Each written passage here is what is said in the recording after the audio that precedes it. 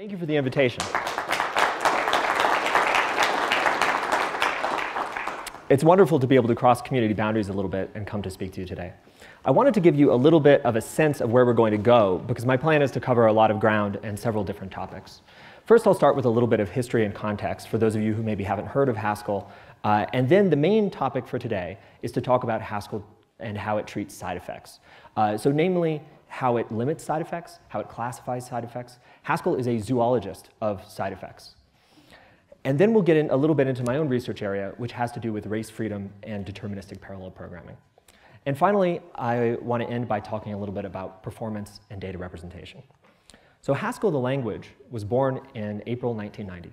It's about 27 years old now, although that effort was actually a consolidation effort where groups of people representing uh, different implementations of functional languages were trying to come together and consolidate.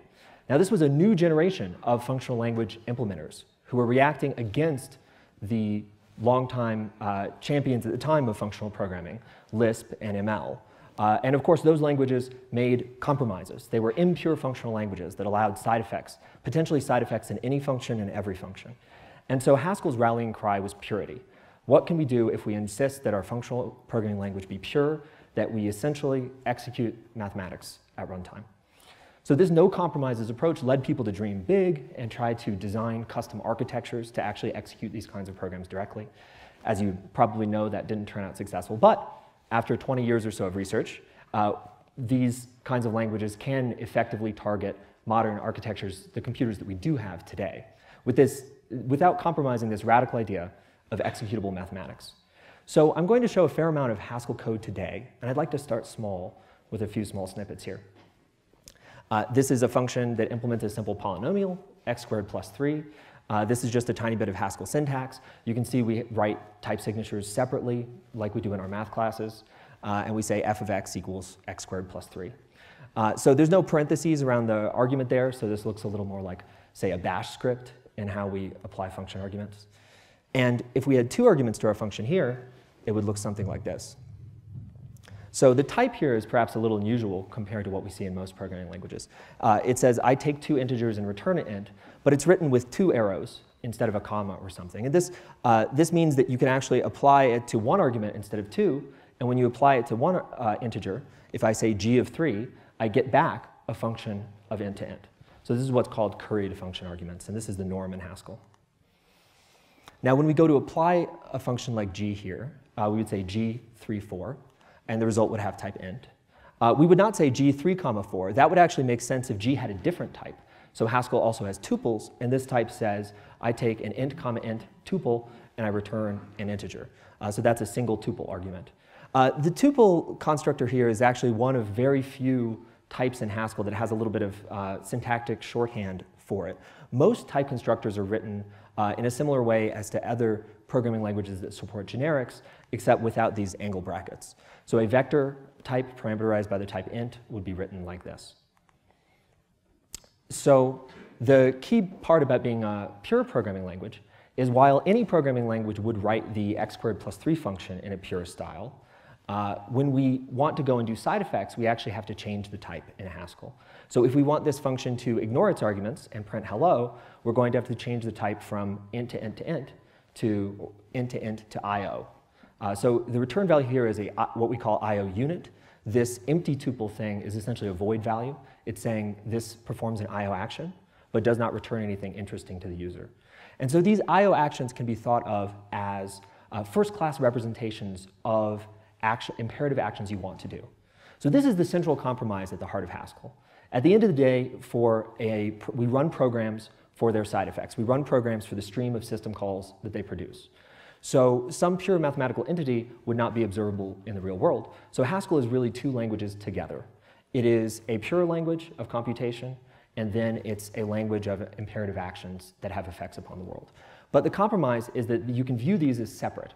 So essentially you can run a pure function which would return a recipe, kind of like a baking recipe, that would say, uh, here's what I want you to do, print this, print that, mutate this variable. And we can think of these programs as conceptually separate. And we can compose together multiple actions, of course, to build bigger imperative programs.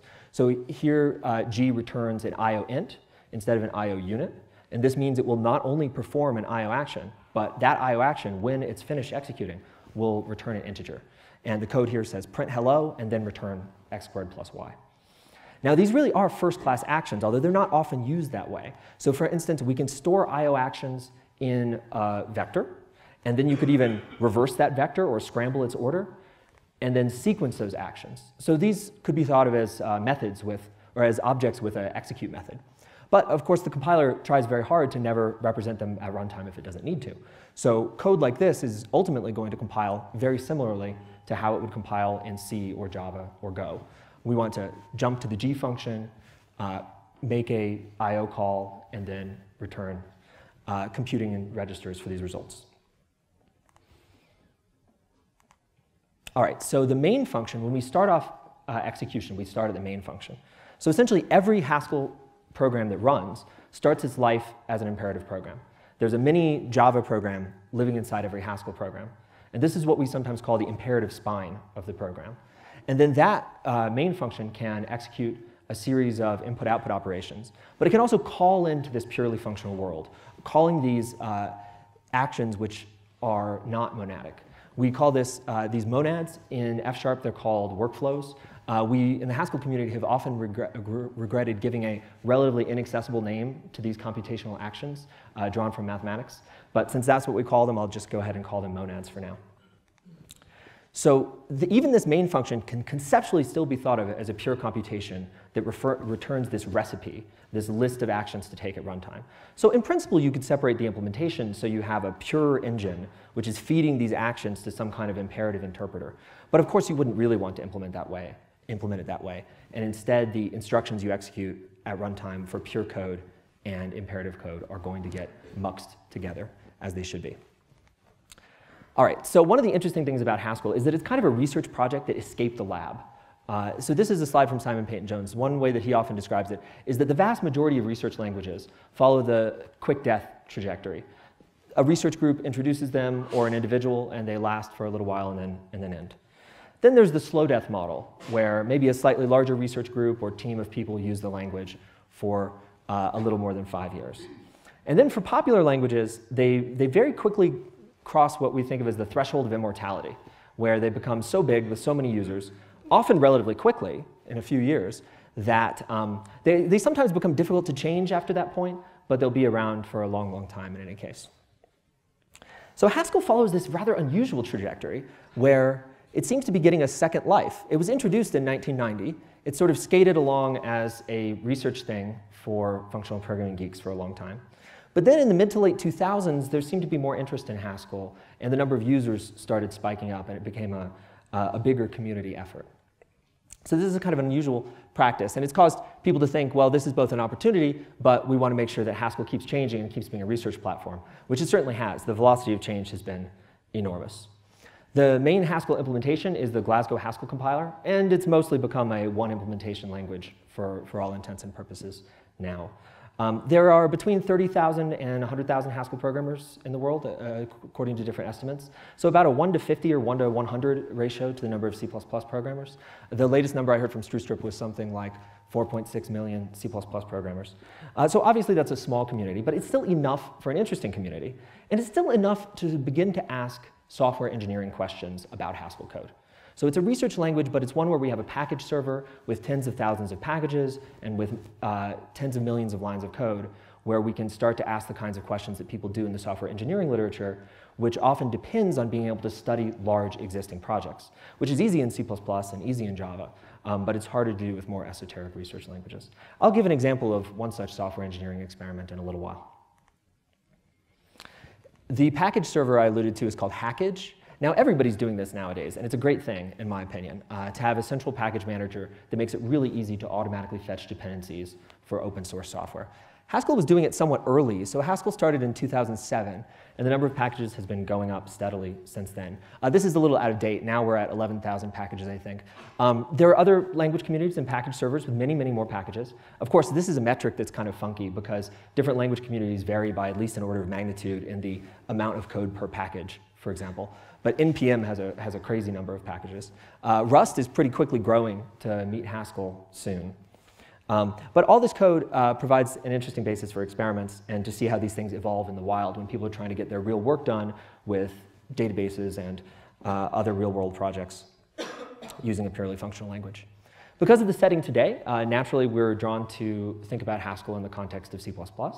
And I'll be making a few comments about the Haskell C++ history and the Haskell C++ relationship. They're both big languages, they're both old languages, and they're both languages that, in spite of being old, uh, have continued to change over their lifespan.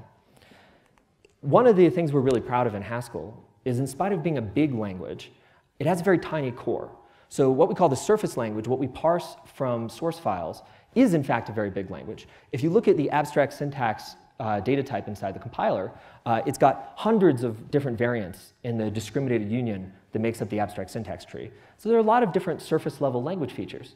But inside the middle end of the compiler, all of those boil down to this extremely tight core in a way that few other compilers I'm aware of manage to accomplish. So System FC is this mathematical language that makes up the core of GHC and has been very well studied in the academic literature. And it only has three types and 15 constructors. It's kind of the skinny waist of the GHC compiler. And that's the intermediate representation that's used for most of the optimizations. However, uh, there are, in the back end, it does eventually lower to a more traditional compiler intermediate representation on its way to generating x86 code or LLVM IR.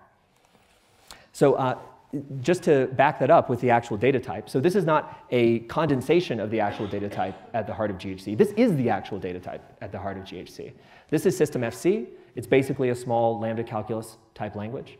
And even the imperative fragment of the programming language, that IO monad that I was telling you about, boils down to rep being represented in this lambda calculus type form. How do we treat something like the put string primitive operation inside the compiler? Well, it's a function. It's a function that takes a world, the entire universe around us, and returns a new world.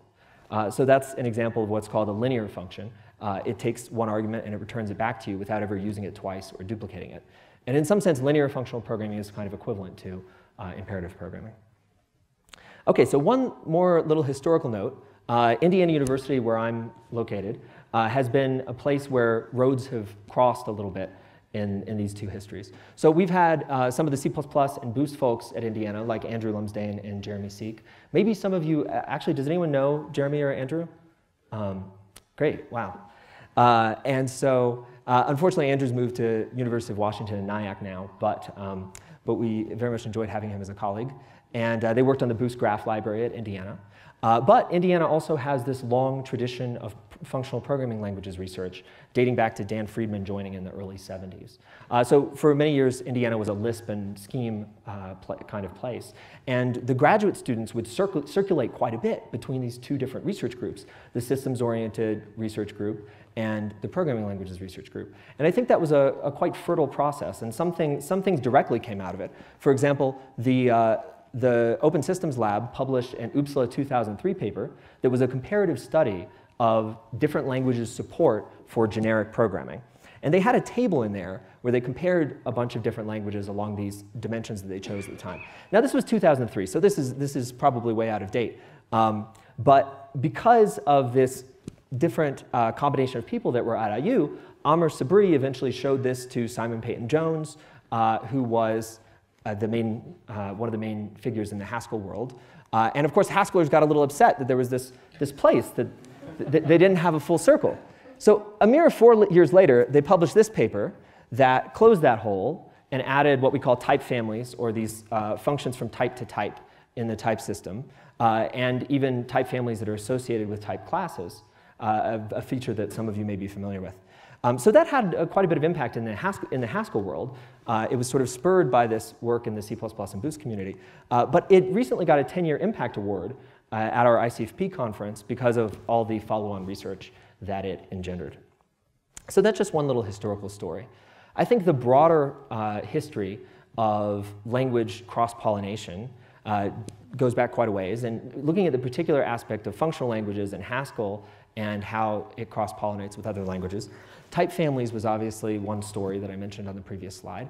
Also, type classes, uh, similar to concepts, similar to traits, are one of the main things that are associated with Haskell and were one of the main inventions of the Haskell community. Standard ML before Haskell, for instance, they didn't have a good type to give the sort function, so they would have to simply pretend that the sort function worked on all types, when of course it doesn't. Um, and of course, looking at functional programming more broadly, there have been a number of features that have been um, paraded by functional programmers, encouraged by functional programmers that have eventually made their way into more mainstream languages. So lambdas and MapReduce style programming, or, or garbage collection even, which was long a feature of Lisp and uh, not very common outside of it.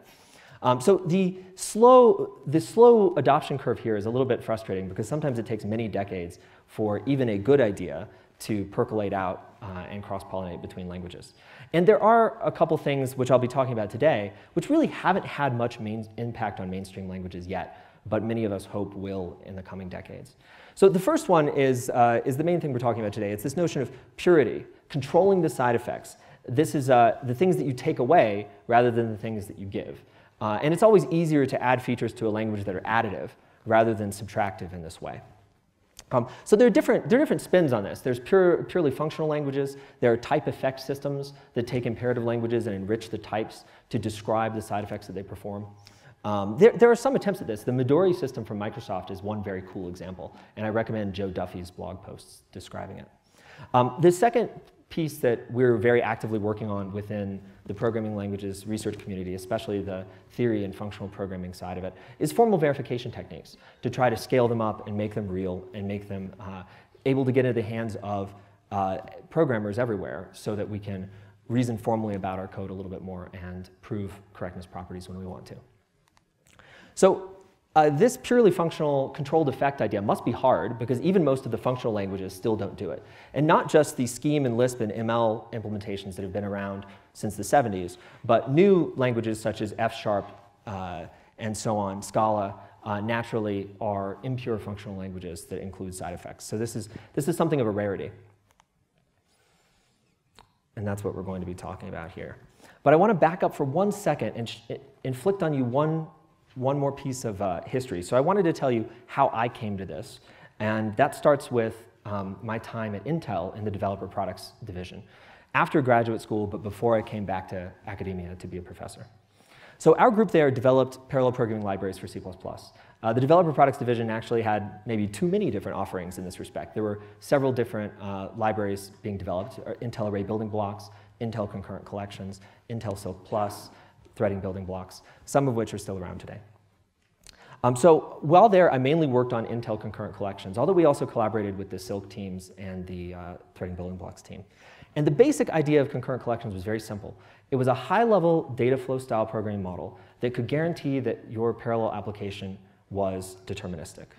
Uh, so Intel CNC in a nutshell, basically it was a task parallel framework where you structured your compute job as a collection, as a graph really, of what we called compute steps or tasks. And those steps would communicate not through FIFO channels like in some of the data flow models, uh, but they would communicate through these append-only tables. And during the parallel region of the execution, you weren't allowed to delete anything from these tables.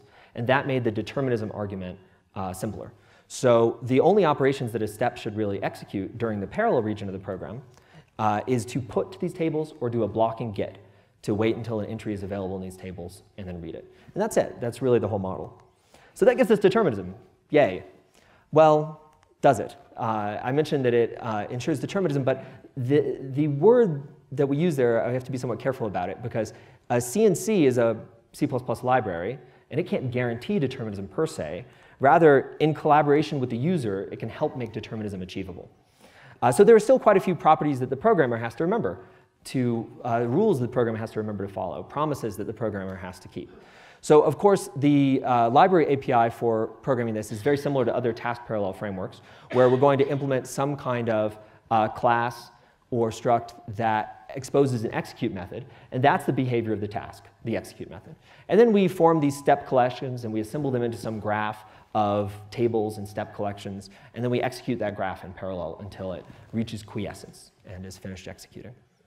Um, so that's all well and good, but from the Haskell perspective, we would say that an, inv an invocation of the execute function on a given tag and a, in a given graph context uh, is an I.O. action. That means it can do anything. Uh, it can um, print to the screen. It can grab a lock. And the other companies and users that we were working with using the Intel CNC library, they very often did what we called cheating. They would simply communicate outside of the API and as soon as you do that, you lose some of the guarantees that we were trying to provide about deadlock freedom, about determinism, and so on. So that made me interested in what we could do with languages where we could actually lock down some of those side effects, where we could design a parallel programming library like Intel concurrent collections. But instead of the type of every task being I.O., being an unrestricted anything goes type action, instead maybe we could invent some custom application specific type, say the CNC monad, uh, where you're only allowed to execute the kinds of actions that we want you to be able to execute to maintain the invariance of the library as a whole. So you can only execute puts and gets. The tasks are still imperative, but those are the only imperative actions that they can take. Uh, you can't grab any locks, you can't print to the screen, you can't launch the missiles. So that's the idea, one of the other big ideas in Haskell, is it's not just that it comes with this baked-in I.O. monad, but you can also design your own monads. Sometimes monads are called the computational glue, and you can parameterize that yourself. Sometimes it's called the programmable semicolon. The semicolon that separates individual statements is, uh, is essentially a not with a fixed meaning. We can give it a different meaning by, uh, by introducing a new type of computation. And uh, I'll give you one more example of an application-specific monad. So this is the Haxl monad that's been developed at Facebook. So the idea here is that Facebook backend code, it needs to read from a variety of different data sources to say, grab your list of friends and somebody else's list of friends and perform operations on them. Um, so Facebook had developed a custom language for writing little scripts that would express all these data fetches and processing of those data, fetch, data fetches, and it would run in an interpreter. Uh, and the reason for that special language was because there had to be special support for batching and caching these I.O. requests to the backend. Uh, so what they did at Facebook was they replaced that custom language with one of these custom computation types inside Haskell. So then you can use all of the normal parts of the Haskell ecosystem, Haskell libraries, Haskell compiler, and get relatively good performance from the compiled code. But you could also design this custom computation type called Haxl that represents the kind of data fetches and data optimizations you want to do. So it looks just as though we're running code in the IO monad. I want to say fetch the friends of x, fetch the friends of y, and return to me the length of the intersection of those two sets of friends. So maybe you have three friends in common, maybe you have five, just an integer. So the type is Haxl of int. Now, if this were the IO monad, then these two uh, actions would happen strictly in sequence. The IO monad is the, sor the source of strict sequencing in Haxl programs. It tells us what has to happen uh, in strict linear order. Everything else, the compiler can reorder, rewrite, eliminate, substitute. Uh, the Haxl monad does not have the kind of strict ordering requirements. It's actually an applicative, uh, but I'm not going to get into that. Uh, and so in the Haskell monad, it gathers together in a breadth-first way all of the data requests that you make, and then batches them into one fetch request on the backend data service and implements caching. So of course there will be multiple rounds of requests because you can have some data dependencies where you have to wait for the first round of requests to return before you can make the next round of requests to the backend. Um, but all of that is transparent to the user. You just write code like this, and that concurrency and that batching is implicit, an implicit uh, property of this computation. Okay, so please stop me if you have any questions or if anything is unclear at all. We've talked a little bit about the IO monad and what, what it allows you to do. Basically everything you would do in most imperative languages. It's a little mini imperative language. Um, but there's also other monads that come built in with Haskell, not just application-specific ones, but also generally useful monads, such as the ST monad, which is used for thread local mutable state. For mutable state that never escapes the thread, is never concurrently accessed, and is uh, very restricted in its use. There's another monad called STM for software transactional memory, uh, where we're running transactions and even nested transactions against uh, transactional variables. So how do we ultimately use these kinds of monads that are not I.O.? If the main function is I.O., and we can run I.O., and we can run pure computation, how do we run these other monads? Well, uh, a monad like ST is what I call a dischargeable monad, where unlike the I.O. monad, you can actually get out of it. That is to say, I can take an ST computation and return to you a result that has no ST in it whatsoever. So for example, if I want to create a vector, an unboxed vector, and I want to do an in-place sort of that vector in the same way as I would in any traditional imperative language. Uh, I can run that and I can hide it inside of a pure function so that nobody on the outside, including the compiler, which is doing reordering optimizations and so on, needs to know that there's anything imperative happening. Because strict thread local state is effectively indistinguishable from purely functional code in that it's deterministic and the outcome is always a function of the inputs. Uh, so what does this look like? Well, we can have a sort function that's directly written as an imperative in-place quicksort, let's say. And it takes an st vector of integers. Now there's this funny s parameter that I've highlighted. So that plays a similar role to the ownership system in Rust, where it identifies this region in which, essentially a thread or a region, in which this state can be modified. And outside of that, it can't be modified. So this says, give me an st vector residing in region S, and I will perform an st computation for its side effect only. I return void, uh, but it will have the effect of sorting that vector in place. And then how we use this inside and hide it behind a purely functional interface would be we, uh, we um, define a sort function that just takes an immutable vector and returns a new immutable vector. It has no monads, it has no side effects, you can see right from its type signature. And we simply define sort as the run st uh, by composing uh, sort prime with run st. Now, runst has this kind of advanced trick that's actually been around for a long time, since around 1994, of using this um, X, uh, universal quantifier from logic, this for all s in its input. So that's just a scoping trick. So that's how it enforces that nothing from this local computation escapes inside that t variable. So this is a polymorphic type signature that it implicitly says for all t, for all s, I take st, st, and I return t. And uh, the idea here is if t contained an, another st vector that mentioned s, well, we don't want some other thread to get that and start mutating what was supposed to be our thread local variable. So that for all quantifier is a way of guaranteeing that anybody who tries to smuggle out mutable state that's associated with this region inside that t type is going to get a type error because that uh, s parameter will try to escape its scope. Okay, so STM is a little bit of a simpler story.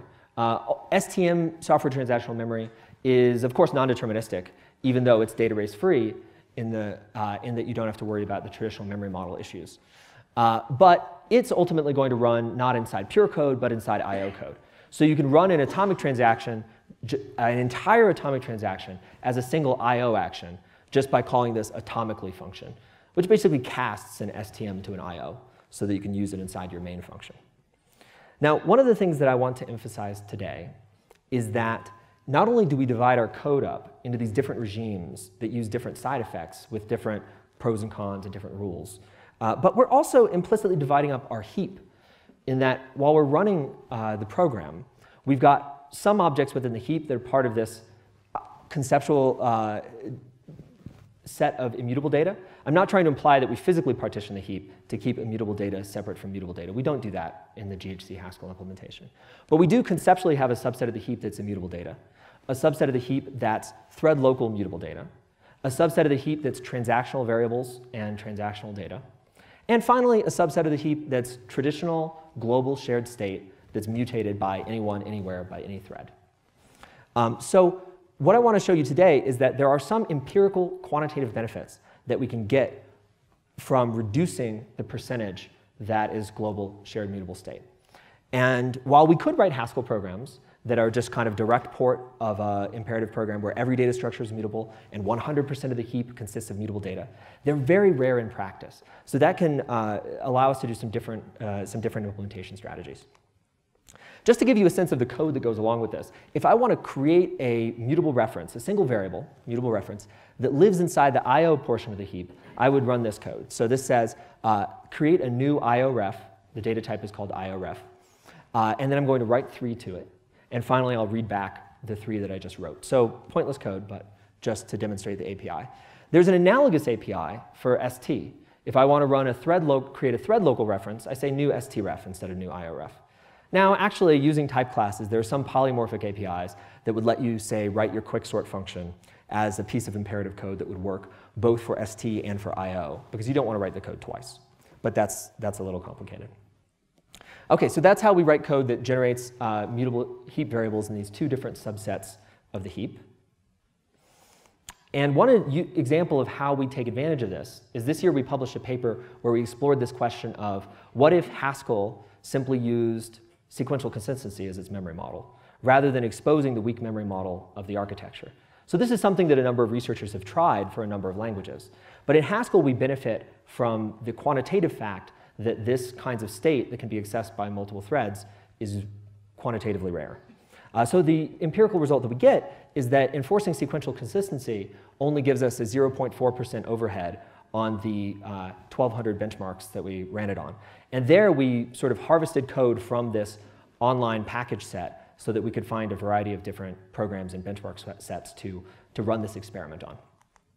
We also surveyed the 17 million lines of code that were on Hackage uh, at the time to figure out statically what percentage of modules were actually using these things like write IOREF, where you potentially could have a data race. Uh, and only 1.73% of all modules of 102,000 modules we looked at uh, had any instruction whatsoever, like a write IOREF, which could potentially be racy. And if you looked at that from the perspective of percentage of lines of code, it was 0.03% of the lines of code consisted of something like write IOREF or write to a vector location.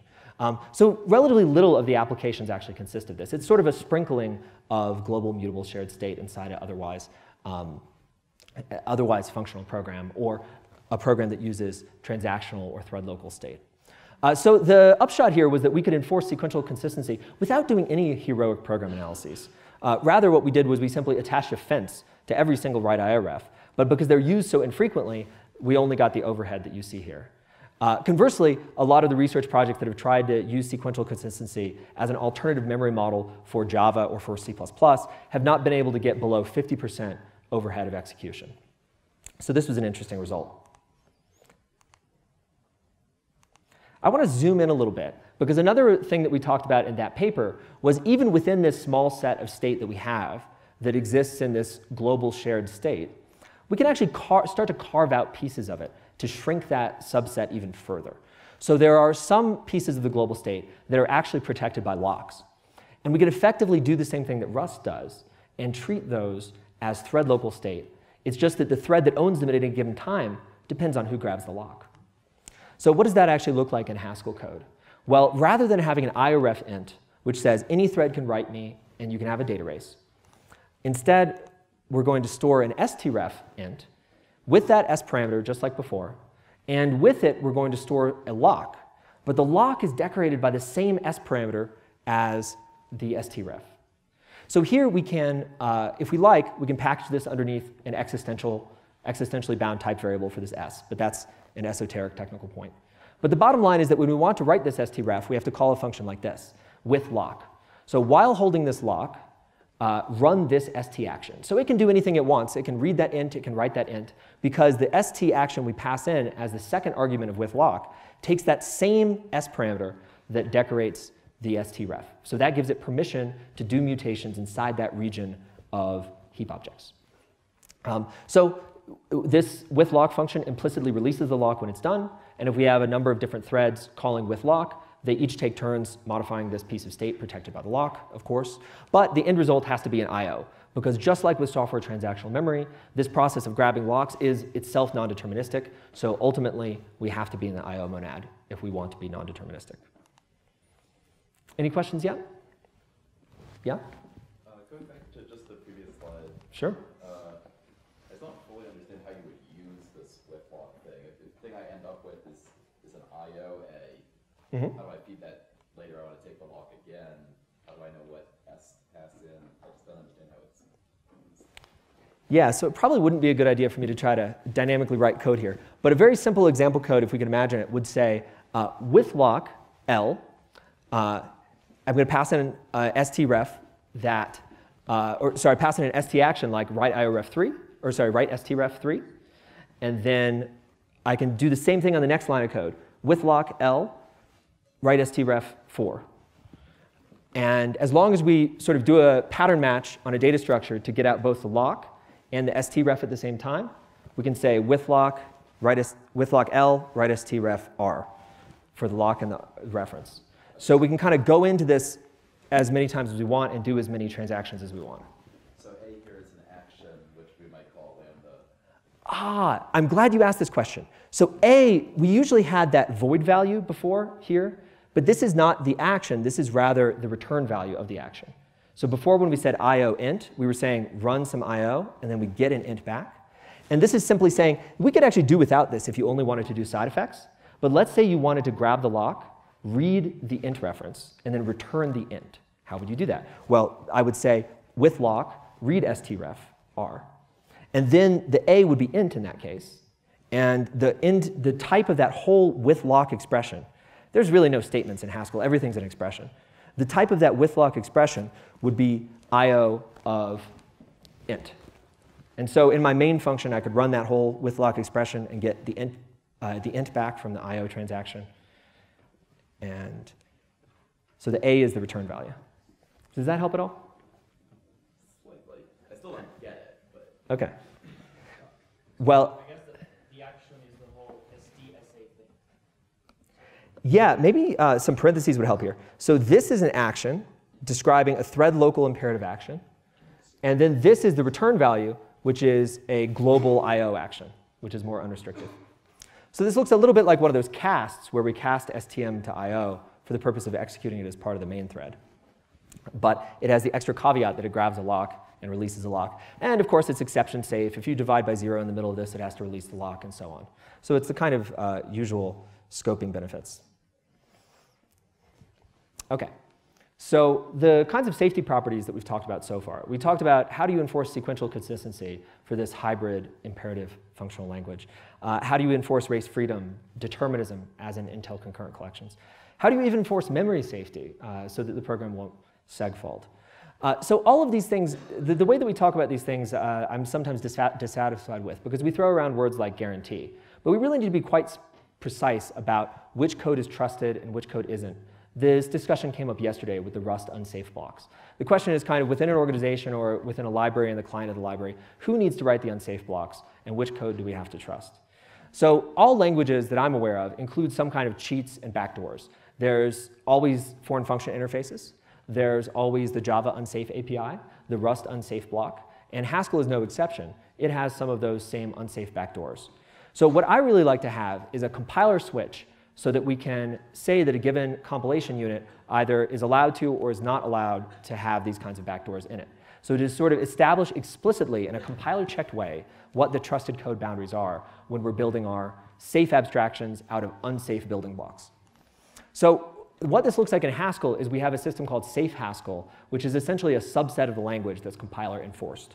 Uh, so every module in Haskell is categorized in three different categories. It's either safe, which should be called inferred safe. This means the compiler can verify that nothing naughty is going on uh, without trusting the user, trusting the programmer at all. Uh, there's unsafe, which means the compiler has inferred that there's definitely naughty stuff happening, uh, like these backdoors or foreign function code uh, or what have you. Um, and then there's trustworthy code, which is uh, similar to what we were talking about yesterday with Rust's split at mut method. Uh, that's where we trust the author of the package, we trust the package, it's on our white list of trusted packages, and we believe, for the, in the standard library, for, for example, we believe that the module exports a safe interface, even though it internally uses unsafe features. Data structure implementations are a common example of this.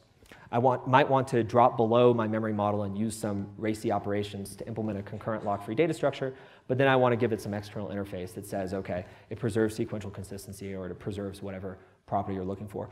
But at the current stage, this is still a process of human uh, validation, where the, it's the human's responsibility to check and ensure that trustworthiness, uh, not proved by, a, say, a mechanized proof system. Okay, so uh, talking about those safety guarantees and about using Safe Haskell as a way to get more serious about identifying our trusted code boundaries, the next topic I'd like to touch on is scaling up a little bit. So let's go from safety guarantees like race freedom on the memory of the process to instead look at end-to-end guarantees for an entire process or an entire subtree of processes and all of their input-output operations. How can we get system-level deterministic data processing and system-level deterministic parallelism out of our programs? So you can do this with any language, but um, because runtime determinism enforcement is sort of a well-studied pro uh, problem, and we can even take arbitrary x86 binaries and run them in a deterministic mode. But some language support can help quite a bit. So one thing we're experimenting with in Haskell right now is changing the type of the main function. So main for 27, well, for 20 some years has been of type IO. But if we instead have a main function of type det IO, we can design a custom monad who's, uh, that's a little less expressive than I.O. It still allows you to write to files, it still allows you to print to the screen, but it has a restricted set of effects in order to guarantee determinism. And the end result is that a program whose main type is det.io should be basically the entire program execution could be viewed as a deterministic function from input files to output files. We're targeting batch processing workloads. So if you try to do networking system calls, the execution will just fail. Uh, but for things like compilers or scientific data processing, like bioinformatics, where we take an input data set to an output data set, we can view that entire process as a pure function from the bits of the input to the bits of the output, down to the last bit and byte. Okay, so uh, one way that we want to do this is we want to write hybrid deterministic parallel shell scripts, which have a statically typed component where all the parallelism lives. And then they can also shell out to external processes, which are run in a kind of dynamic encapsulation mode to ensure that they're deterministic. So a simple example would be if we want to compile every file in the current directory, uh, and we want to do it by calling out to gcc-c, we want the whole result of this main function to be deterministic. How do we do it? Well, we're, uh, we're experts in deterministic parallel language design, and we're working with some experts in deterministic runtime enforcement at UPenn, namely my collaborator, Joe Devietti. And we have a paper and submission on this topic where we enable this kind of program. And the GCC example isn't entirely, isn't entirely made up. We actually uh, do have a GCC, uh, a make replacement. Uh, but the basic idea here is that the statically checked part of the program is the part where the type system is ensuring determinism. Whereas the dynamic part where we call out to arbitrary x86 binaries, we're only supporting x86 at the moment, unfortunately, that dynamically enforced part uh, requires a runtime system. It requires that we use ptrace or LD preload or in some way modify the runtime. And uh, what we've implemented is a drop-in replacement for GNU make, and we call it det-make. And det-make's main function is, in fact, just a det.io function. Uh, so everything that it does with reading files off the disk, with determining dependencies, with executing jobs in parallel from make-j is all done in this det.io monad. And one of the things I really like about it is that um, I always have a little uncertainty when I'm running make-j. And one of the things I love about det-make is that even the shell output is deterministic. So every time you run it, you will see the same shell output, even though it's actually executing in parallel.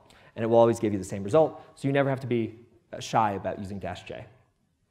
As a minor thing, we actually made dash j the default, so that's a little bit of a um, divergence from GNU Make. Uh, what I was showing a moment ago was actually a little bit of pseudocode. So the actual Haskell code for this, whenever we do an iterator uh, or a loop, we actually pass in a lambda function. So this says for each dir, call this lambda function on each file. And if you ask what is the type of the result of that lambda function, well, of course, it's det.io. It's a monadic action. Now, like I said, right now with our current prototype, we're doing all the parallelism up here. So the Haskell program can be parallel. The Haskell program can do whatever it wants eh, in terms of parallel programming, task parallelism, data parallelism, as long as we can certify that it's deterministic for the purpose of supporting this end-to-end -end deterministic workflow. Now, currently in our current prototype, the x86 binaries, the arbitrary binaries that we call out to, we actually sequentialize them. That, that can be changed in the future, but it's a lot easier for us to guarantee sequential execution for one of these binaries like GCC if we execute it sequentially. So we do the outer loop, the parallelism in our kind of parallel coordinator or parallel shell script up here. And then the inner loop is calls to GCC or a bioinform existing bioinformatics program and so on. So that's the way that we write deterministic parallel shell scripts. So when you show up something like GCC, you, you do something like, I think Valgrind does a similar thing of just ptrace and wait until it gets to somewhere where it would block and then and deterministically you say, okay, you thread run next.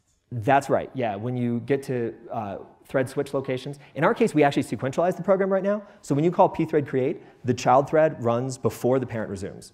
Uh, but that's just our current prototype. We're going to replace that with a deterministic concurrency mechanism. So right now, we can essentially only run things that don't have true co concurrency, which is more programs than I might have initially thought. And, oh. and if you do that, you find that GCC is deterministic? Oh, yeah. Yeah, absolutely. And so are all the bioinformatics applications we looked at. Um, now, creating sort of 100% encapsulation, even for adversarial programs, is a little bit of an open research challenge. So our current prototype um, it will not work for adversarial programs. For, for instance, we intercept libc calls. If you have statically linked uh, direct system call instructions, we're not intercepting those right now. Uh, and we're, we're moving towards using a hypervisor so that we can virtualize and intercept everything that we need. But our current prototype is just a little LD preload shim that modifies the behavior of the program in that way by intercepting libc. But also, I mean, I would think in your definition, any C++ program is potentially malicious in that it could have a buffer overflow that reads uninitialized memory, and if I introduce Oh, oh, wait, but uh, this is a uh, separate process. Oh, I'm sorry, are you talking about address space randomization and other? We turn off ASLR, I should mention. But even there, if I read a byte that was uninitialized, maybe it has five in it, maybe it has seven in it. On Linux, mmap is pretty deterministic when you turn off ASLR. So we're in large part relying on operating system abstractions here instead of on programming language abstractions to get this determinism. Um, but yeah, ultimately we need to take care of those things. For, uh, for purposes of the, the recording, when you get a question from the audience, can you repeat it? Oh, thank you. The question from the audience was, could you please repeat the questions from the audience? Um, yes, I will remember to do that. Uh, all right, so we haven't done it yet, but one fun thing I think about this, this sort of view, from my view, deter, uh, imperative programs, functional programs, these are just sort of programming style issues. And the main thing that really matters is determinism versus non-determinism. That's my particular perspective. So from my perspective, an arbitrary entire C++ program running sequentially should be viewable in Haskell as a pure function. It's a pure function from the standard input. Let's rule out I.O. for the moment to the disk. And let's say that it's a pure function from the standard input that that process takes to the standard output that that process produces. So it shouldn't even need to have an I.O. type. We should be able to call a foreign binary that is a byte stream to byte stream function. That's kind of an extreme example of the run ST principle.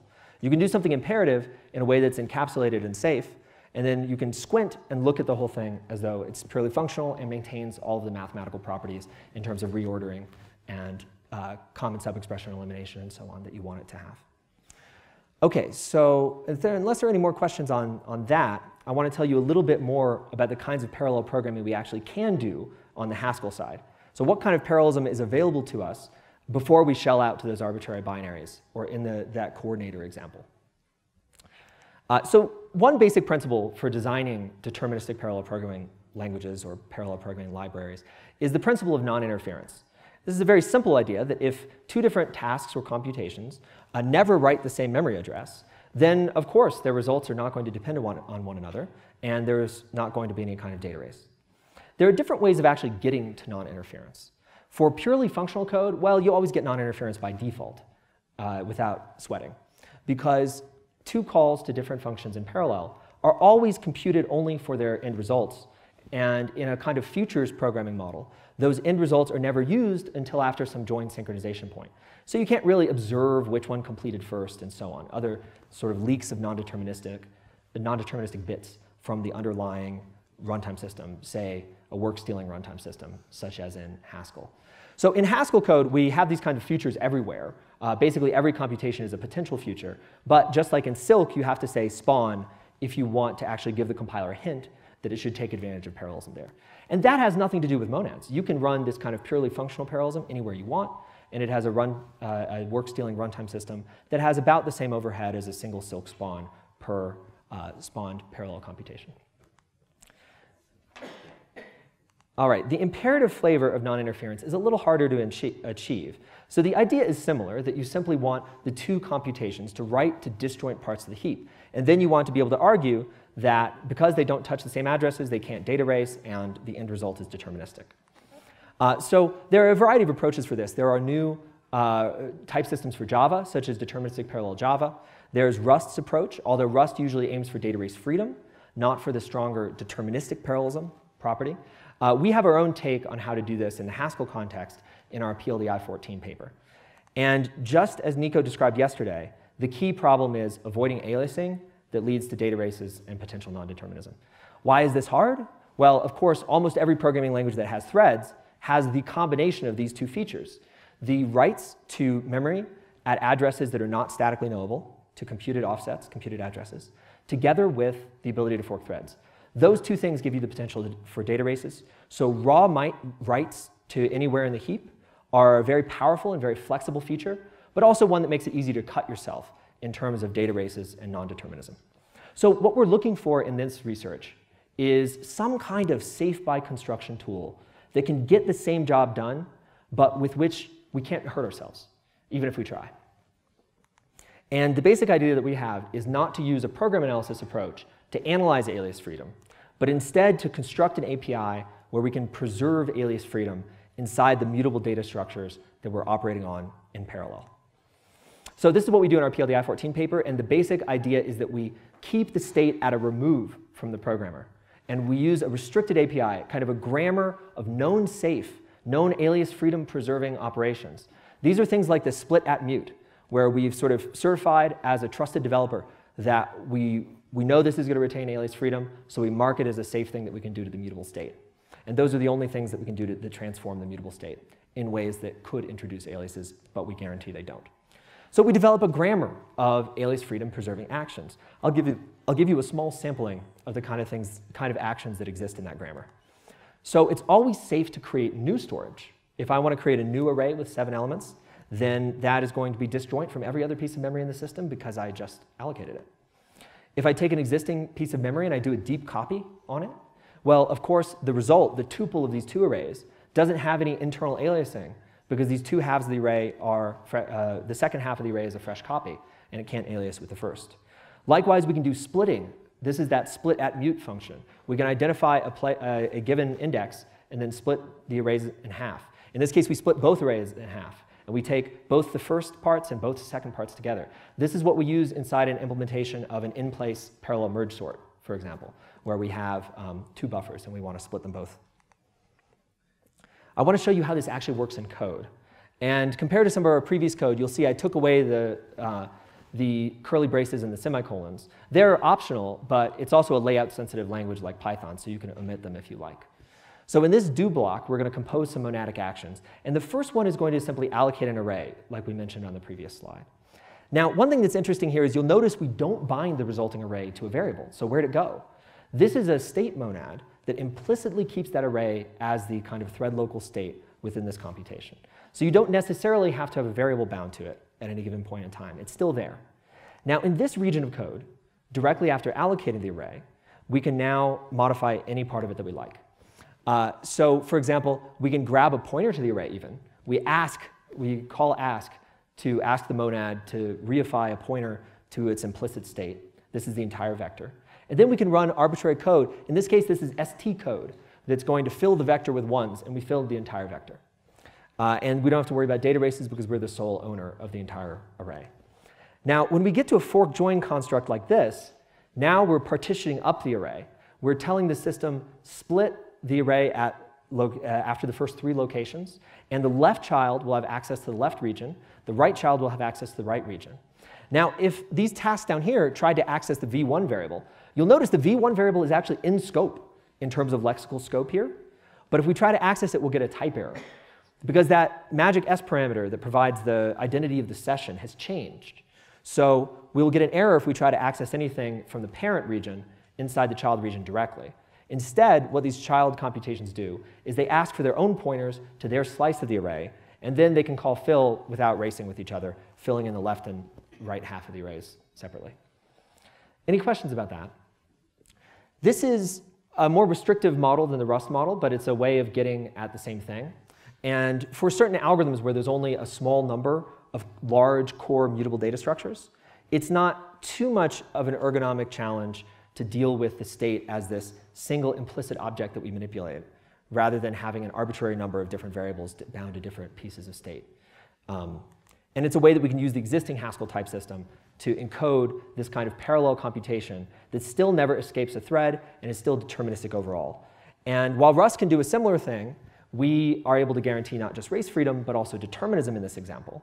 And as far as I know, this was the first example of an in-place parallel sorting function even though in-place sequential sorts had been around since 1994, this was the first example of an in-place parallel sorting function that's hidden inside a pure function using only safe mechanisms. So to write the sort itself, we don't have any unsafe code anywhere. The code doesn't need to be trusted vis-a-vis -vis these guarantees. All right, now I want to talk a little bit about how we're expanding this notion of these separate kingdoms of the heap. So we've now introduced this new idea where some of the ST state is actually used by multiple threads, but it's in this disjoint way that keeps it all safe and present, prevents races and even prevents non-determinism. So this kind of expands our picture. But there's one way that we can expand our picture further. And this is the last parallel programming mechanism that I'm going to talk about today. Basically, we can introduce a new category of state, which I call monotonic state.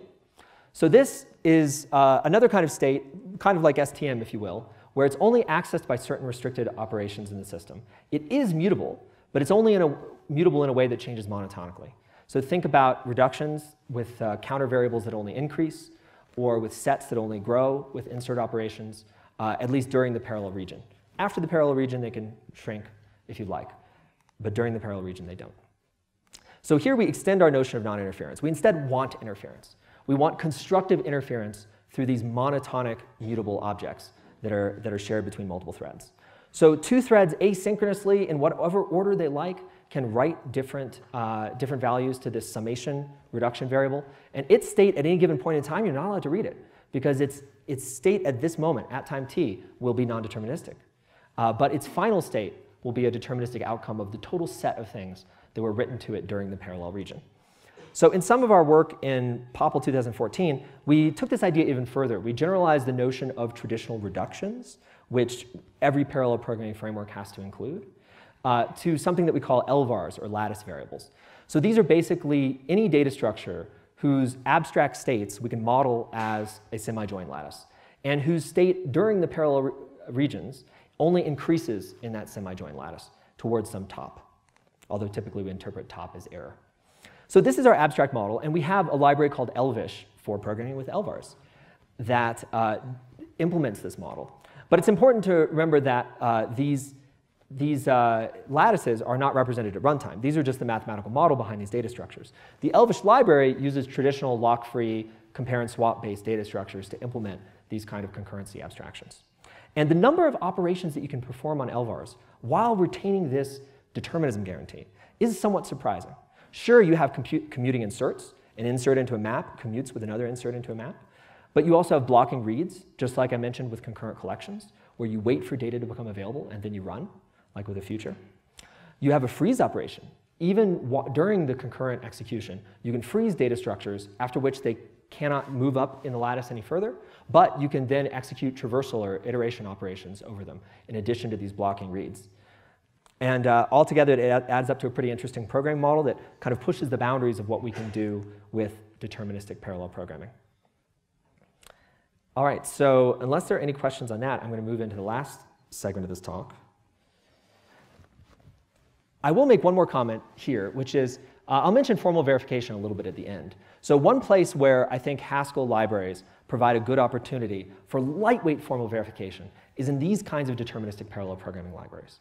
If you simply look at the reduction operators that are provided by different libraries and languages, some of them, like Intel array building blocks, they provide only a fixed set of reductions. They'll say you can reduce with plus, you can reduce with times, you can reduce with XOR.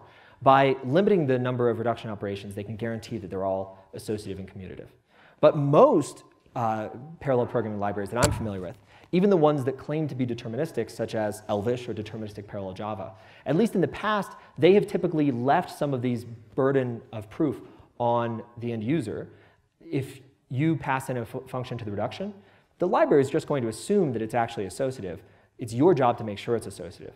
But in a strict new version of the LVish library, we're experimenting with the idea of requiring a proof of associativity if you want to use the reduction function that actually assumes associativity. Otherwise, you have to use a different reduction function. It has somewhat more runtime overhead, but it uses a fixed topology, so it doesn't need to assume associativity for a deterministic outcome. So that's one fun place where we're not doing heroic whole program verification, but formally verifying little bits and pieces. This function's associative, this function's commutative, can help our libraries maintain their invariance uh, in a very rigorous way. All right, in the last section here, if there aren't any other questions, I'm going to go ahead and talk a little bit about performance and data representation. So Haskell is a statically typed language. Uh, it has pretty good performance, uh, often on par with Java, rarely on par with C++ for well-optimized benchmarks. Um, it has some performance problems as well that we, that we still need to work on. There are plenty of ways to make your programming language extremely slow, and we've seen, we've seen many of these in action. Uh, you can have a really Byzantine called dispatch semantics, where you have to check a million different places before you can just call a function. Uh, you can have inefficient data representations. And this one I find is really popular. Lots of languages box the heck out of everything. You have to follow 10 pointers to get to anything.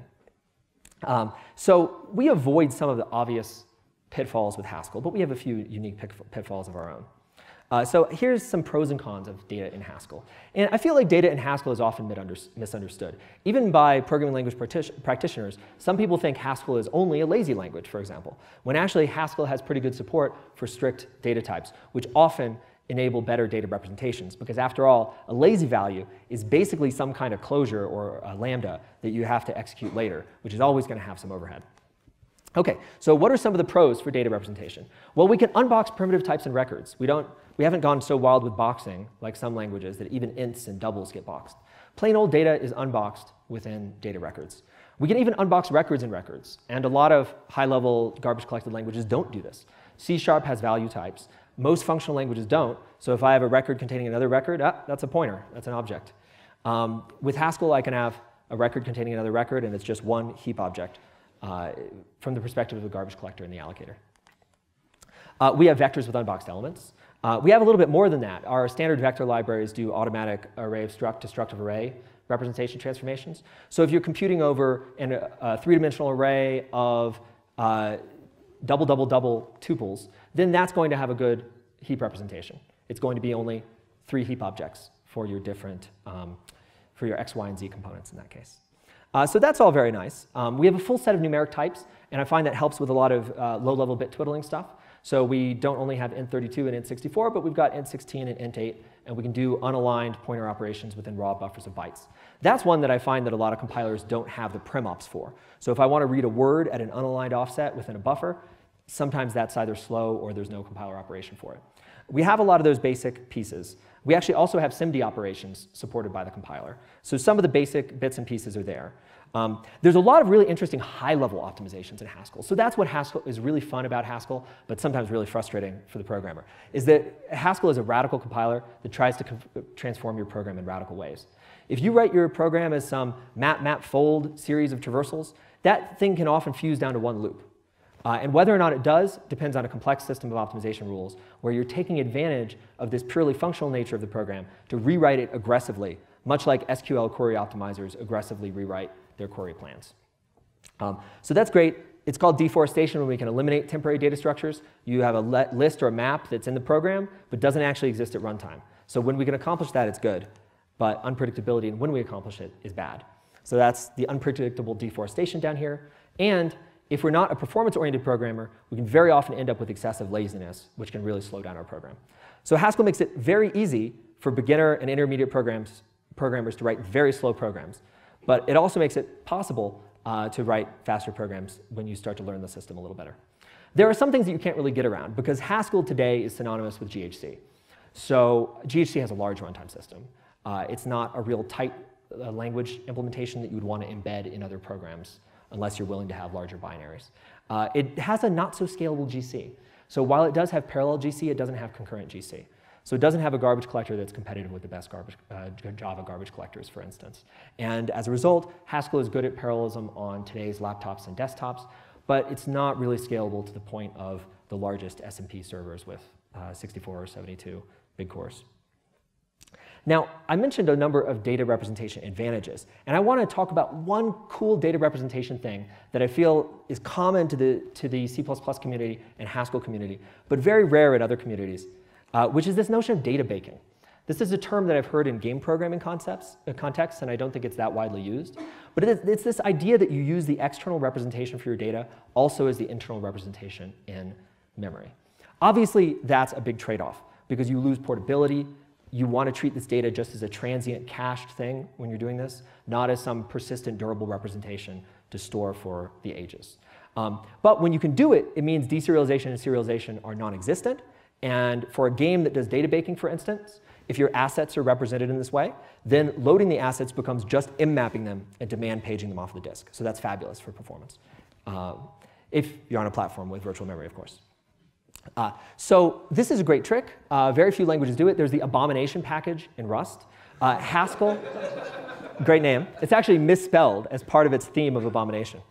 Uh, so if you search for it, keep that in mind. Uh, so uh, Haskell, as of GHC 8.2, this has been merged into mainline. And even though it's not released yet, it's actually already in use at Facebook. by that same group that I mentioned before. Um, so the idea with Haskell is a little different than in C++ because we have the garbage collector to worry about, right? So an immutable value in Haskell in general is some subgraph of the heap. Uh, if it's immutable, we know that that graph's not going to change. So the connectivity of that graph won't change. So that gives us a little bit of a leg up in making it easier to coalesce those values, either during garbage collection or just by doing an explicit copy.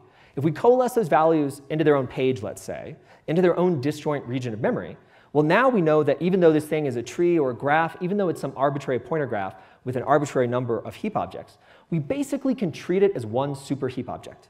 So this is great for amortizing the cost of garbage collection. Uh, this means that we no longer need to uh, we no longer need to traverse those objects that are inside the compact region. Whenever the garbage collector gets to that thing, it just stops because it knows that there's a transitive closure property, that everything inside the region only points to other things in the region. You're not allowed to point out of the region. That's the critical invariant that we retain. But because this fits well with the block structured heap implementation that GHC already uses, uh, and it unifies the internal and the external representation when we're doing uh, communication, either with disk or over the network. There are no type system requirements in the sense that you can do this for any type of data. So there's not even, um, we do have a type class called compactable for the data that fits into this, but we can pretty much do it for any of the data that's, that exists on the Haskell heap. Um, so the end result of this is when we use it for communication to send these blocks of data across the network, using RDMA, we can get 2 to 4x better performance uh, by avoiding deserialization, even though the data we send is larger than it would be in serialized form. If the network's fast enough, it's still better to skip serialization and just send the data directly in a zero copy fashion from one heap to another heap. Uh, we also compared against Java and, uh, and exceeded the performance of the Java library we compared against there for um, serialization, deserialization. We can also use it for communicating to disk, and this is something I love very much. I kind of hate parsing the same JSON or XML data multiple times. If we have a month of Twitter data on disk, it's going to take a couple gigabytes. And if I read it in once to do an analysis, the next time I read it in, I don't really want to parse the JSON representation again. Rather, what I want is a file system caching layer that has transparently cached it as a compact region file, which of course is specific to the compiler version and is not portable, uh, but it's a cache. And when I read from that cache compact normal form, I get two big benefits. First of all, reading, reading the data in becomes just an mmap, and that's, that avoids a lot of overhead with doing the deserialization. But it also gives us random access. Once I mmap a big data structure, like this Twitter data set, if I then access into the middle of it, I don't have to actually read the whole file to get there. I don't have to parse the whole JSON or XML stream to get to the middle of it. I actually just have a random access data structure in memory that's like a part of the normal heap. So I just jump to the middle, it demand pages in the piece of the middle, and then I can get about 100x faster access to the middle of the data if it's been cached in this compact form. So I want to go a lot further in that direction in the future. I love projects like Cap'n Proto, for example, that try to avoid serialization and deserialization by merging internal and external representations, data baking, if you will. But I've also had a special place in my heart for many years for compilers that can change the data representation out from under the programmer without the programmer having to do anything or at least not do very much work. Uh, so one current project that we're working on that radically changes data representation. It goes a little bit beyond changing array of struct to struct of array. And instead, what it does is it rewrites the representation for entire tree data types, for what we call algebraic data types in functional languages. So these are uh, these kinds of data types here, where you've got case classes or a discriminated union or enums, whatever you want to call it. Uh, it's basically a data type that takes one of several forms. In this case, a tree is either a uh, leaf node or it's an intermediate node. And this is just the simplest example that I could fit on a slide, but this is an example of an out-of-place tree traversal. So this you would do, for example, inside the Rust compiler. When you convert the MIR intermediate representation to LLVM, you're needing to do an out-of-place traversal because you're traversing from one type to another type. You're converting from one type to another type. Here, we have a simple add one function that's just tree to tree, so it's not a different input type from the output type. But hopefully you can get the idea with this code. So to show you the kind of thing we're optimizing, uh, this is sort of the simplest example that will benefit from our compiler transforms that we're working on now. We're working in a restricted subset of Haskell, and it's actually a toy compiler at the moment. We haven't ported the optimizations into the main GHC implementation yet. But the results that we're getting right now is if you look at like this add one traversal, for example, and you apply this to a big binary tree with a million nodes or 100 million nodes, uh, you're going to spend a lot of time. First of all, you got to get the allocator right, because otherwise this, this little add one program here just becomes an allocator micro benchmark, right? So I wrote alloc up there like it's a macro. And uh, if we want to maximize the performance of the C code on the right, which implements the add one tree traversal, adding one to every leaf in the tree, the Haskell code and the C code are doing the same thing here, right? This is the same program. Uh, the syntax will vary in different languages, but it's the same program. Uh, we want to allocate the output node for the node that we're processing, and we want to either initialize it as an element, a leaf node, or, uh, or not. So that's why we copy over the tag. The tag field here is going to identify it as a leaf or not in this discriminated union. Um, and then we do a single branch to figure out if it's a leaf or a intermediate node, and we recursively process it. Now we can actually go even further and transform this program into a loop automatically instead of a recursive function. But that only gets us about 20%. What really gets us a lot of performance on this kind of tree traversal program is, uh, first of all, getting the allocator out of the way. So of course you want to use the thread local bump pointer arena style allocation for this allocator. That will improve your overhead by 10x on this micro benchmark instead of using the system allocator. But there's still 4x performance left on the floor. So the Intel architecture does not like this kind of pointer chasing program. So our current research project is how can we get the compiler to use a completely different data representation for this data. And the one that we use is a dense preorder serialization of the tree. So we essentially eliminate all the pointers uh, and pack it the same way you would pack it if you're sending it over the network. And then the compiler transforms the code so that even though the programmer writes this recursive traversal here, uh, what they actually get at runtime is this tight stream processing code where you take a packed representation in a buffer and you walk over it with linear memory access patterns. So that's one of the reasons we get the 4x performance compared to GCC O3 with an optimal allocator on the code on the right here. Um, so, uh, so the adaptive caching system inside Intel likes these linear access patterns very much. It can recognize it as streaming mode, and it can uh, do really well in this kind of program. So that's, uh, that's, this is still ongoing work, but that's an example of radical data structure transformation that I'm hoping we can pursue, pursue more in the future. And we have the ability to pursue it, I should say, because the data is abstract and the compiler doesn't need to guarantee anything about the layout of the data at runtime. So we, we have some freedom to work with. We can really change the data representations and screw around with things. All right, so I thought I would wrap up today with a little bit of future directions, so future of Haskell. But do stop me if you need to. Okay, so we talked about safety guarantees, and indeed, safety guarantees are a big part of the theme with Haskell. Uh, whether it's the ones I listed or it's other safety guarantees that you're interested in. Going further, programmers are interested in ensuring correctness invariance of their programs, uh, with the extreme being full formal verification uh, that an entire program meets its spec. And this is a very active research area in programming languages right now. So there are entire operating systems, entire compilers, such as CompCert, that have been formally verified uh, end to end. And that's a kind of Herculean effort. Uh, but there are ways that we hope that programming languages researchers like me hope that in the next 20 to 40 years, formal verification will become much more mainstream and will become a much more standard process, part of the programming process. And I believe personally that programs still have quite a ways to go in terms of becoming more robust and predictable. I actually had a panic this morning because when I booted my machine from Linux to Windows, I tried to open up my presentation and I just got this. So I think there's a way to go with correctness and making sure that programs do exactly what we want them to. Okay, the traditional option for the last 10 years or so, if you're a Haskell programmer, let's say, and you want to do some verification of the correctness of your program, or you want to ensure more invariance of your program with a static type system, well, you could verify some properties of your program using Haskell's advanced types, the kind of sexy types that go beyond what other functional languages have tr had traditionally had. So these are things like generalized algebraic data types, or GADTs. Um, and with those, you can encode invariance. For example, I can give you a red-black data, a red-black tree data structure definition that is constructed in such a way with the type system that you cannot construct an instance of that type that violates the red-black invariant. We just enforce it. And so we don't have to trust the programmer in that case. It's one property that we can check off of our list because it can never be violated uh, by any program. The type checker ensures it. But that doesn't go far enough. There are only certain program properties we can conveniently verify in that way using the existing Haskell type system where it stands today.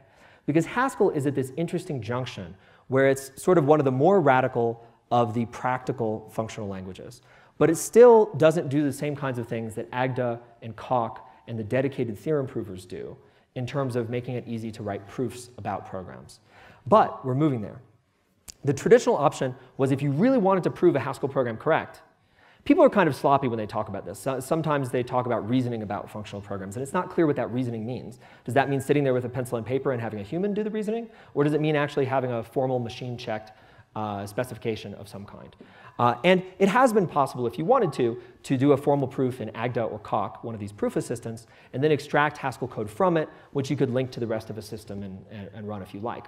But that requires jumping through a numbers of number of hoops, and it's not the kind of thing that has really become uh, very popular. You can't find a high percentage of Haskell libraries on Hackage, for instance, that have been extracted or have any of their code extracted from Coq or Agda. It's just not, not that popular of an option. So Haskell is changing rapidly, and one direction we're going, we've already got this huge language with all these different features in it. So of course, as you know, that makes it a little harder to iterate and to extend, to add new features. But um, Haskell has this programmer community that is trained to be used to fixing their code when a new compiler version comes out. So we keep changing the type system and iterating a little bit, even after 27 years. And right now, Haskell is actually on course to add much more radical extensions to the type system, kind of reworking the fundamental theory of Haskell and of that tight intermediate language in the middle that I mentioned, uh, to instead move towards dependent types, which are the advanced type systems that systems like Agda and Coq use to uh, kind of merge with logic and be able to represent logical formalisms directly in, uh, in the program. So programming and proving becomes sort of a single activity. There's two different visions to how this formal verification trajectory can go. You can make the Haskell type system itself super enhanced, such that you can write proofs about Haskell in Haskell, or you can do what are called refinement types. So this is like adding an extra layer of type checking on top of your existing type system. So you leave the Haskell type system alone. All programs that type check can currently continue to type check. But then you add these refinements. So instead of something of type int, you might have a type int v where v is greater than 5. So that's a type in the refinement system. Now the refinement system that we have today is called Liquid Haskell, and it uses an SMT solver, like many of these systems do, to discharge the proof obligations. So much of the proving process for these refinements is automatic. You don't have to write out explicit logical formalisms for the proofs because uh, the SMT solver is doing it for you. Now, in our most recent iteration of this liquid Haskell system, uh, we're working with collaborators at UCSD, Ranjit Jhala, to implement a, what we call liquid prover, where you can use these refinement systems to write proofs about Haskell programs, just like you would in the dependently typed world. And that's actually what we use to discharge those proof obligations about associativity of a function you're using in a parallel reduction, and so on. So this is how we're hoping we can make it more practical and a lower barrier to entry to prove certain key program invariants uh, as a normal part of the programming process.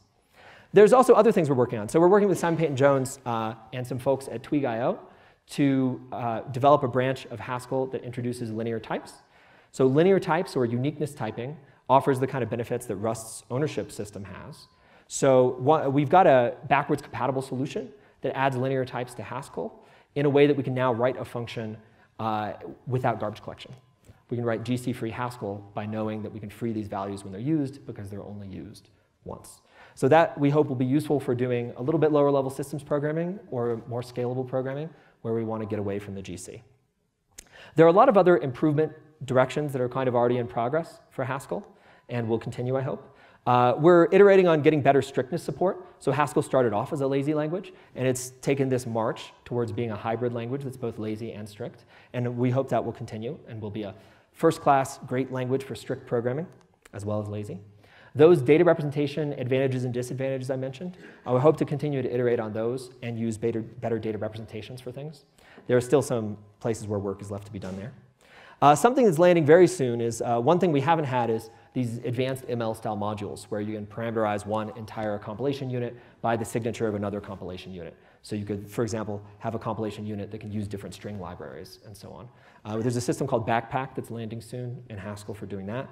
Then there are lots of other things that I would like to see worked on, but I'm not sure if we have the manpower. So in this community, as you might guess, there are a lot of people that are interested in type theory and logic. There are not a huge number of people who are also interested in compiler backends and the performance tweaking that I love. Uh, so it would be great if someone could work on a concurrent GC. It would be great if someone could work on auto vectorization. There's low-hanging fruit there to be had, but right now we're a little understaffed on that end of the spectrum. Intel in 2013 actually did a really interesting piece of research from Intel Labs where they produced an alternative Haskell backend called the Intel Haskell Research Compiler, which is now open sourced. Uh, and it would take the GHC front end, but it had this really aggressive auto-vectorizing, auto-parallelizing backend. And they compared the performance of that against their Intel optimized Ninja code for certain benchmarks, and it performed pretty well. But most of those innovations have not been ported back into the mainline GHC compiler, and that research compiler has unfortunately become somewhat uh, rotted. It's for an older version of GHC. Okay, so moving forward, uh, I'm going to wrap up here so we have a little time for questions. But I think that all the things I've talked about today, especially restricting the side effects, are things that it might be hard to backport onto any existing languages. It's really one of these very uh, fundamental choices you make when you design your language, what the system of side effects will be. But some of these issues come back into play when we design embedded domain-specific languages which I think a number of different language communities are looking at because, like Sean Parent mentioned in his 2012 talk in this same venue, a lot of the time 99% of the performance is not accessible to regular code. If you want to use the full device, you have to have a good story for vectorization, GPU programming, et cetera. And for example, in Haskell now, we have embedded DSLs like Accelerate that are meant to access vector units and access GPU code in a way that kind of offshores the computation from the main Haskell runtime, executing it in this DSL fashion. So whenever we design those DSLs, whether machine learning DSLs or DSLs like Halide for image processing, I would hope that we think about issues like memory models and limiting side effects and so on, and what effects those choices might have on our uh, parallelization strategies. Uh, and I will just throw in as a comment, my personal prejudice is that I think that statically typed host languages like C++ and Scala and Haskell actually have a leg up when it comes to embedding these domain-specific languages. Because you can use these overloading tricks that are captured in the type system to overload the plus operation, for instance, to operate both over deferred expressions and also over uh, native integers. Whereas the strategy that we see in the more dynamic languages often involve a kind of runtime introspection where you ask a Lambda function to produce its internal AST, and you walk over it and ask yourself, can I compile this for the GPU? Um, so I, I, prefer the statically typed approach for EDSLs. Wrapping up, um, C++ and Haskell, a lot of commonalities, big complicated languages, sometimes big error messages. Uh, old languages that are still changing, both good for generic programming, for highly polymorphic, overloaded uh, functionality and libraries. Uh, both good languages for data baking, surprisingly, or at least now they are. Uh, good host languages for EDSLs. These are some commonalities. There are still some things that I want to see Haskell steal from C++. So we have these type classes, like order, ord for ordering, for instance, these things that are similar to concepts. Um, and those were one of the developing type classes were one of these big contributions of Haskell, as I mentioned. But the implementation strategy for type classes, if the compiler is in a non-optimizing mode, will basically pass a vtable for them, which is the opposite choice from Rust and from C++ and it's kind of unfortunate. So the compiler itself will try to optimize these vtables away. It will try to inline the dictionaries. There are even specialized pragmas that the user can uh, issue to the compiler to say, oh, this sorting function might work for any data type satisfying ORD, but I want to specialize it for int and double so that I generate a separate copy of the code that's faster if I'm sorting a vector of ints or faster if I'm sorting a vector of doubles, sort of imitating in a small way the Rust and C++ template instantiation uh, mode. Now, unfortunately, uh, those kind of template specializations, our current compiler toolchain doesn't deduplicate them. So you might have one module, it doesn't happen much in practice, but you might have one module where you specialize sort to vector int, and I have a module where I specialize sort to vector int, and then I link them and I have two copies of the code. So if we want to move forward and use this specialization machinery more aggressively, we have to do what C++ and Rust have done and ensure that a given template specialization only has a single uh, piece of code in the, in, in the compilation result. Finally, I also personally, as a performance tuner, want more control. I want to know, I want to be able to say, okay, this thing should never be passed as a vtable. I expect the compiler to eliminate it in all cases. That's the kind of invariant I want to be able to ensure. So we have just a couple minutes to wrap up here. I'm going to leave this slide up while I thank you and ask for your questions.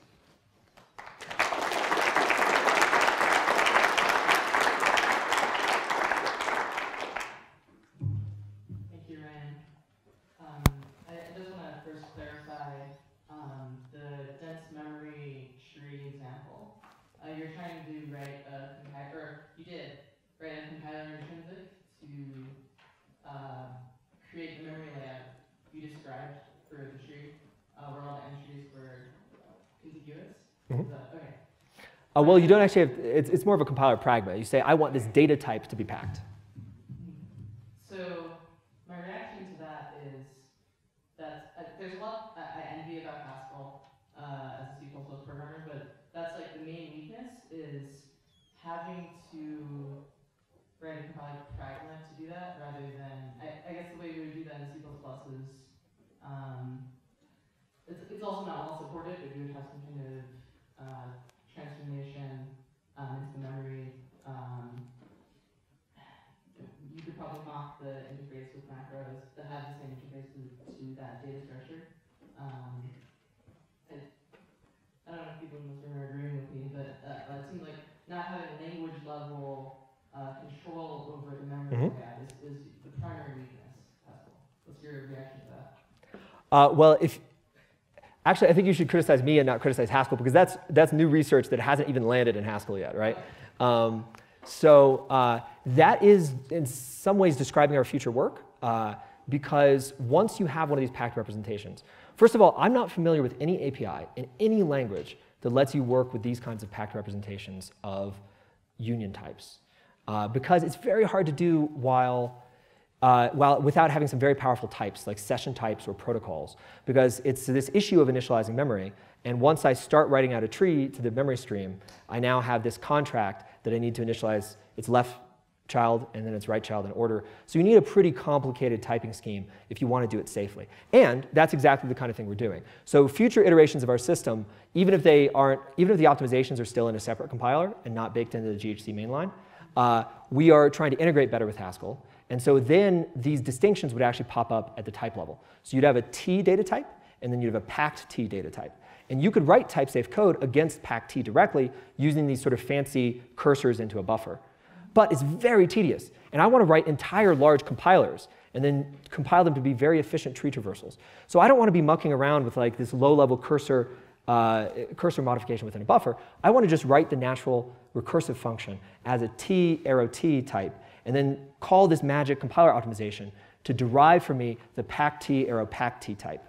Uh, and that would give you kind of, I think, the best of both worlds, where you could derive those pack T, pack T transformations automatically, but you could also drop down and write something at that lower level representation if you want to. Hopefully type safely. But if you're familiar with any related work where people have done that kind of packing, I would love to see it. Chris Lattner, the LLVM guy, as well as Vikram Adve, they have done work on automatic pooling uh, to automatically take C++ objects that are not uh, connected in the heap graph and put them in separate pools, kind of automatic arena allocation. But that still leaves the normal heap representation. Whatever pointers you had, you still have. So it doesn't do this kind of pre-order serialization packing thing. So following on on this packing thing, um, it seems like the decision to pack or not to pack is not always obvious. Uh, and I was wondering if you are planning some kind of uh, profiling support for the compiler to decide whether it wants to pack or not. Yeah. Because, I mean, having to manually do that is fraught with, you know, uh, good intentions that don't. Uh, Yeah. Well, to me, this touches on these classic questions of compiler optimization. How much should it be under programmer control? How much should they not be? Uh, how do you achieve predictability for your performance tuner? Um, so uh, our initial prototype is just try to get this idea off the ground. We're basically assuming the data type is only packed and trying to get these traversals to compile with this radical transformation of the code. Um, but in future iterations, certainly we, uh, I did my thesis on profile-driven optimization. I love profile-driven optimization, and I would love to have a compiler that can make intelligent decisions about data representation based on profiling data, either offline or online. Um, but that's, that's sort of a big future research agenda to get to. So the slide here uh, says that there is some technical programming uh, features. I mean, could could you give like a quick overview of what can be done in terms of that programming in Haskell? Sure, sure. So yeah, metaprogramming kind of falls into different categories here. There's template metaprog up at the top. So this is the thing that's most uh, closely explicit metaprogramming, where you're like scheme macros or like explicit templating, you're having multiple stages of program execution. So you run a Haskell program at compile time that's generating another Haskell program. So that's our, uh, our explicit metaprogramming story. Uh, type level programming ties into some of these questions about verifying things in the, in the type system. So that type families example that I mentioned uh, as a cross-fertilization example, is one place where Haskell introduced type level functions. So instead of a vector of int, just always uh, meaning the same thing, whether it's a vector int or vector double, vector could actually be a type level function that uses a completely different implementation strategy for a vector of int as vector of double. Of course, people in the C++ community are familiar with that kind of thing from templating.